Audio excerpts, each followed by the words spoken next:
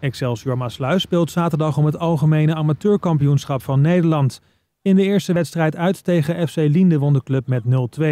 Maar wat is nou de verklaring van dat succes? Ja, dat is denk ik een jaartje of 7, 8 begonnen geleden. Toen eh, we een hele goede lichting A-jeugd hadden.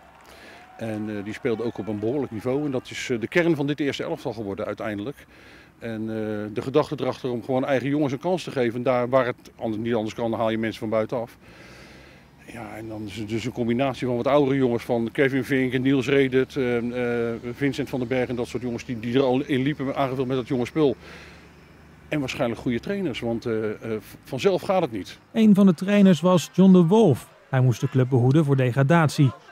Maar ja, ze hebben het wel met, met elkaar, met een nieuwe trainer, uh, hebben ze dat toch weer uh, het maximale eruit gehaald. Ja, en als je van tevoren had gezegd, joh, ze worden kampioen van de topklasse en ze worden kampioen van Nederland, dan had je, had je gezegd, nou, ik weet wel dat ze hoog gaan eindigen. Hè, de top 7 was voor mij geen probleem, dat, dat, dat had ik ze wel verwacht.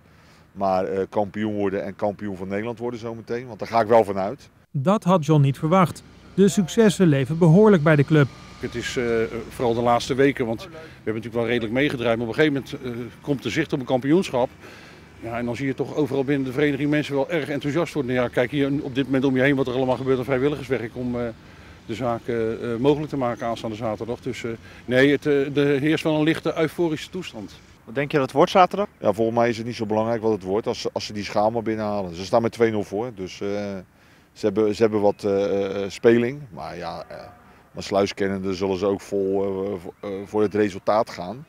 En, uh, ja, ik ga ervan uit dat als we hier om uh, kwart over vijf staan, dat, dat ze zijn schaal uitgereikt krijgen van Erik Gudde. Het enige wat nou echt jammer is aanstaande zaterdag, dan worden we kampioen. Hè? Laat ik de huid alvast maar verkopen voordat we de weer geschoten hebben. En dan hebben we natuurlijk weer feest. En ik heb aan mijn kinderen beloofd dat ik, de kaartjes liggen al klaar, ik moet naar een theater zaterdag. Dus ik ga hier om half zeven weg. Ja, het ouderschap vraagt of was af en toe. Hè?